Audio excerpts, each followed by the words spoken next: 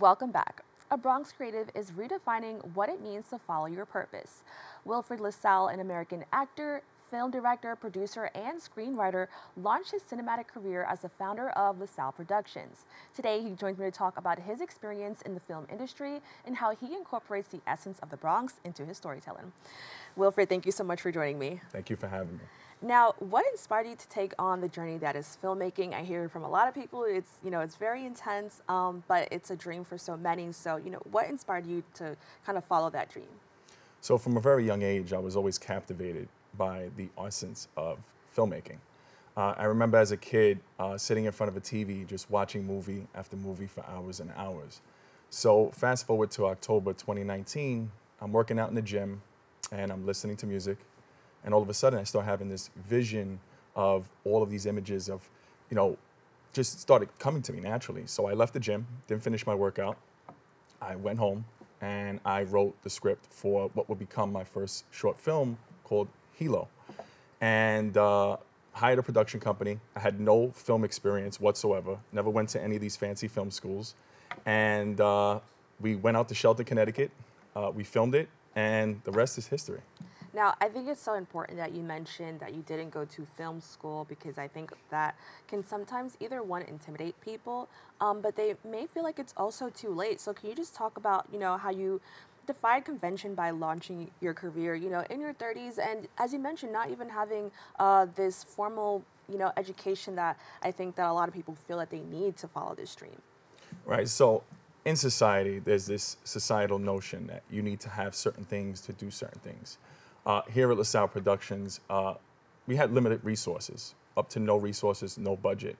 Uh, and I just had this mindset that if I had the courage to start and my back was up against the wall, then I would have no choice to continue. So I think that's really, really important. Uh, you don't need any of those things. You don't need a fancy film school. Uh, all you need is the will and the determination to begin and the vision. And once you have that, persistence will continue to personify what you need to do in order to catapult yourself into where you need to be. Now you mentioned LaSalle Productions. Can you talk a little bit more about the creation of that? And you know, what are the type of stories uh, LaSalle Productions explores? So LaSalle Productions is an innovative uh, film company. Uh, we are revolutionizing independent filmmaking one film at a time. Uh, I created this production company to allow actors and actresses from all, all walks of life to showcase their talents. Uh, it's an opportunity for them to be in front of a camera. Uh, say they're working on like a big production and they're not seen because they're doing background work. Well, my company allows them to come in and we have a camera, we give them a principal role, and they're allowed to showcase their talents on my production. Now, once that happens, uh, we are we put the films on Amazon Prime, they're given their reels, and then they're able to shop for agents, creating other and bigger opportunities for them. No, I think that's so amazing. Yeah, uh, you know, I, I didn't know that, you know, not only were you, you know, in ways helping yourself and kind of following this dream, but you're helping smaller actors um, and actresses. And I want to talk about, you said that they're from all walks of life, which I think it's a great opportunity to talk about the Bronx and, you know, how sometimes people from the Bronx aren't always represented um, in the mainstream, you know, films and TV that we watch. So can you just talk about like how your organization kind of, you know, notices that and paves a way for a lot of these Bronx creatives to kind of thrive? So when you come from the Bronx, like you said, uh, there are a lot of negative perceptions associated with the Bronx. But I'm hoping to change that. Uh, about 60 to 70% of my films are filmed in the Bronx uh, by Bronx actors and actresses. So we use iconic uh, locations. We shot in Bronx High School of Science outside of there. We've shot on the Cross Bronx Expressway. Uh, I think that that's very important I think, to kind of change the negative stigma. You know, so I'm hoping that my company can do that and show people the good side of the Bronx and what can come out of it in a positive way.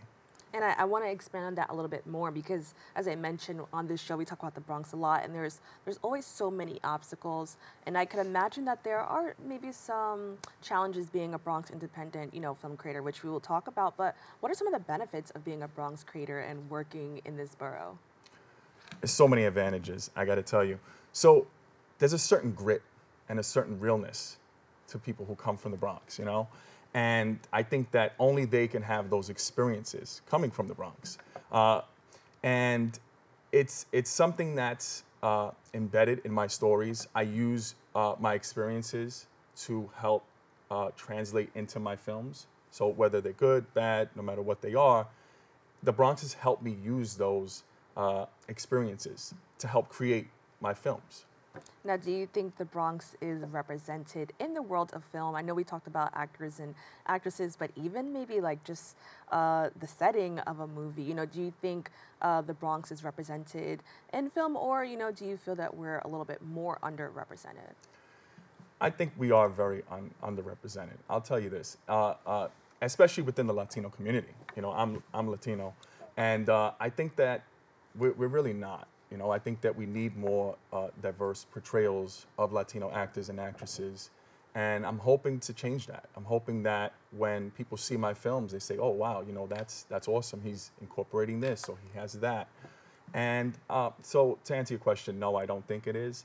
Uh, and again, I'm hoping that that does change because there are so many talented uh, Latino actors and actresses, and the Bronx is full of so much culture and diversity. So that's number one, and that's key. Right. Now, I want to talk a little bit more about you. Uh, you take on many roles in the world of film. So, how do you balance taking on the role of a director, actor, screenwriter, and so much more? Um, and how do these different roles kind of impact, you know, what we see on the screen? I can tell you that it's very stressful. But uh, what helps me is uh, you have to be a good problem solver. I think that is key. In this industry. And what helps alleviate a lot of the stress in taking on those roles is being able to delegate uh, specific tasks to cast members while I'm on set. And that really helps take a lot of the pressure off of me. Uh, say a cast member isn't in the scene. So we'll have one of my cast members come in, he'll hold the boom mic, I'll have another guy do script supervisor. Those small things are huge when it comes to taking on all of these roles because it, it can be it can be a lot. It really can. Now, I, I, I, love that what you just mentioned that they could take on another role, which is an educational opportunity. Can you talk about how this can provide educational opportunities for those who may be new or maybe they don't know if they want to be an actor or a director or a screenwriter? You know, how does that help them? A lot of these uh, younger or at any age, you know, people who just kind of want to get into the film industry, but they're not really sure what role they want to take on. So a lot of people have this thing where they think they need experience. Again, you don't need the experience, but uh, I think that when you give someone a role like script supervisor or something like that, and you explain to them, hey, listen, this is what you'll be doing, I think it causes uh, a level of inspiration. Because if you take someone out their comfort zone, they're kind of forced to either grow to a level where uh, it's it's complex. Because if you have an actor who is isn't he isn't in the role of in the scene and then he comes on and he's like, you know, this is something different than what I'm used to. It may give him a different perspective and say, you know what, I never thought about being a script supervisor or, but this is cool, you know, and it gives them another opportunity to say, all right, you know, not only am I an actor now, I can add this to my reel and my resume. So I think that can also create a different level of educational opportunity for them besides acting. Now, can you talk uh, about your latest project, Oculus? Uh, you know, what is that about, and you know, how did that kind of come to life? Oculus is my first sci-fi action horror film. Uh, it introduces a character by the name of Zia Laney, who's played by the very talented Tara Beavers, who's one of my actresses from PA, who drives four and a half hours for each shoot. Uh, so Zia Laney ends up losing her son tragically in the film. And Zia ends up dying in the film, and she enters what's called the Oculus, which is like an afterlife purgatory. There she becomes the leader of the suits, and from there it just takes off. I can't give too much away. Right, we don't, want, to spoil spoil anything. Yeah. Uh, we definitely want people to kind of learn a little bit more about that. Now, you know, after this experience and kind of, you said it started kind of like in 2019, you know, what have you learned about yourself on this journey and what you want to continue doing in the world of filmmaking? I want to inspire people. I want people to say, you know what, I saw that guy, uh, Wilfred LaSalle, and he inspired me. He, he started from nothing. And I hope that people can see my films and say, wow, this guy, what he's doing is pretty innovative. Uh, I always say to people that we're revolutionizing independent filmmaking one film at a time. And what that means is there are a lot of talented independent filmmakers. But what LaSalle Productions does, we step outside the box. We take massive risks. We're not shooting a film in a park or in a home. We're shooting on the Cross Bronx Expressway.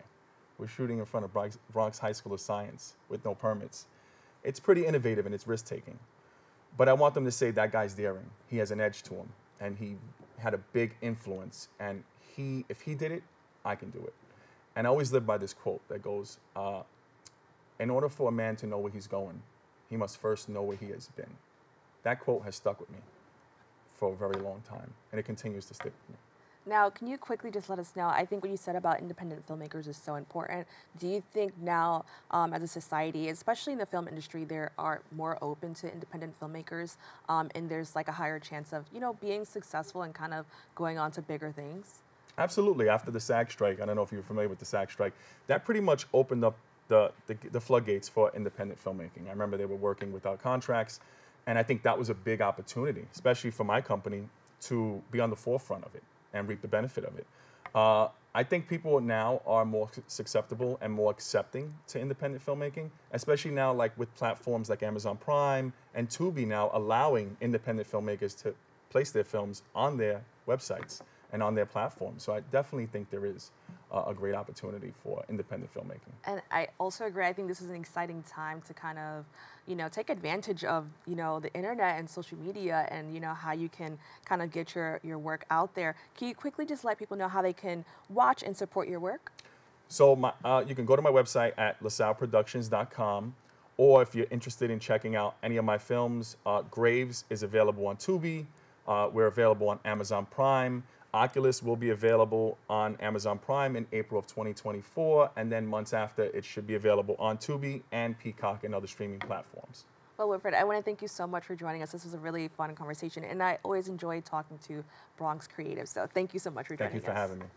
To keep up with all of the work Wilfred Productions, um, or to learn more about his company, please go to his website at www.lasalleproductions.com. We've come to the end of our show today. I'd like to thank all of our guests for joining us and you, the viewers, for tuning in. If you missed any part of today's show, you can catch the Recable, the Recable cast on Optimum channel 67 and Verizon Fios channel 2133, or watch anytime on the web at bronxnet.org. You can catch a brand new episode of Open with Darren Jaime on Wednesday and with Rena Valentine on Friday. I'm and Alleyne, wishing you and your safety and wellness now and always. See you next time.